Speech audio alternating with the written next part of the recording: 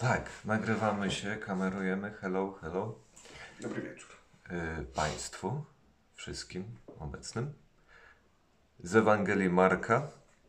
Tego samego dnia, gdy zapadł wieczór, powiedział do nich: Przeprawmy się na drugą stronę. Pozostawili więc tłum, a jego zabrali tak, jak był w łodzi. Również inne łodzie popłynęły z nim. Nagle zerwał się bardzo gwałtowny wicher. Fale zalewały łódź, tak że już napełniała się wodą. On zaś spał na rufie, opierając się na podgłówku. Obudzili go więc i zawołali: Nauczycielu, nie obchodzi cię, że giniemy? Wtedy wstał, zgromił wicher i powiedział do jeziora: Milcz, ucisz się.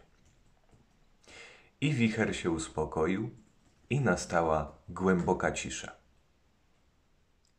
Potem zapytał ich: Dlaczego tak się boicie? Jeszcze nie wierzycie? Oni zaś bardzo przerażeni pytali się wzajemnie, kim on jest, że i wiatr, i jezioro są mu posłuszne.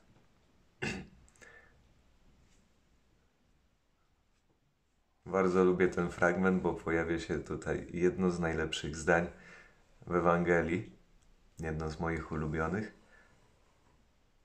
I nastała głęboka cisza po słowach Jezusa. Egeny to galeny megale. Tak jest. Słowo klucz. Galene megale. Tak. Ogromna cisza. Yy, zwykle jest tak, że boimy się różnych rzeczy i w sumie to trochę tak wygląda, yy, że mój strach, no to tak naprawdę to jest niewiara. Tak, tym bardziej, że Nie właśnie wiara. sprawdzam tutaj w tym i tam jest deilos użyte. Co to Słowo- znaczy? Właśnie strach, ale inaczej niż phobos, bo phobos może być jeszcze dobry. no tak.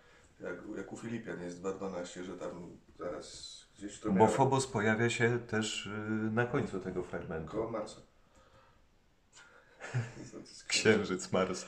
Tak, że tam, gdy jestem nieobecny, z lękiem i drżeniem starajcie się o własne zbawienie. A właśnie tutaj, y, kiedy Jezus mówi tak, że jesteście niebojaźliwi i nie macie wiary, Mhm. tak, no to właśnie jest tutaj to deilon użyte, deilos. Tak.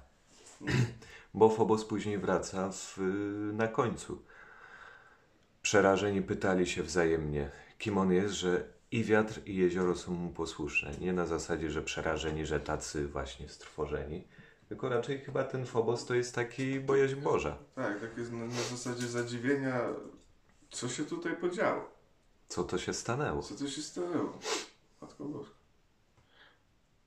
Tak, więc I najważniejsze pytanie na samym końcu, kim on jest? Pytanie, które przez całą Ewangelię Marka się przewija. Wciąż i wciąż dwa tematy. Wiara, niewiara uczniów, no i właśnie to pytanie, kim on jest? No, ale to też jest ciekawe, że właśnie skoro to Deilos jest, to, to Jezus nie chce tego Deilos dla nas. Nie chce takiego lęku. Nie Lęk. chce, żebyśmy właśnie przeżywali nasze życie w takim lęku, że o matko i córko zaraz po prostu będzie kunieć świata i wszystko szlak trafi. Tak? Tylko jeśli już, to woli, żebyśmy byli chyba zadziwieni Jego dziełami. Tak? Jeśli to ma w nas budzać jakiś taki Szok. szok właśnie, to chyba lepiej tak, nie? Tak. Niż No i dobrze, żeby to pytanie sobie pracowało w nas na, na ten dzień. Kim on jest, że i wiatr, i jezioro są mu posłuszne. Bo, no bo dla Żydów, jeśli y, natura jest posłuszna komuś, to znaczy, że to jest tylko Bóg, bo tylko Bóg ma władzę nad naturą, nad przyrodą. tak, Nie? No dobra. się zrobiło laudatus i na koniec.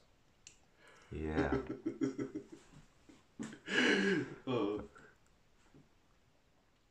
No to co? No to na dzisiaj to będzie Jeszcze raz pozdrawiam wszystkich Pozdrawiam. alergików z całego, z, z całego nosa.